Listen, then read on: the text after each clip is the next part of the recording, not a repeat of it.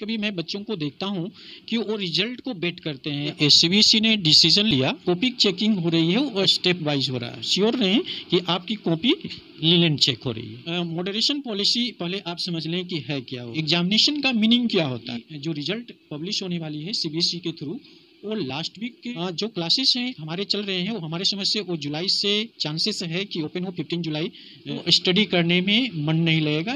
Just है कि बेटा हम लोग टू मंथ एक मंथ पढ़ लिया और अच्छे अच्छे कॉम्पिटिशन को हम लोग कवर कर लेंगे ऐसा नहीं होल निभानी होगी कि हमारे बच्चे ये होल्ड एक करते क्या हैं। हम लोग ये रोना रोते हैं पहले कि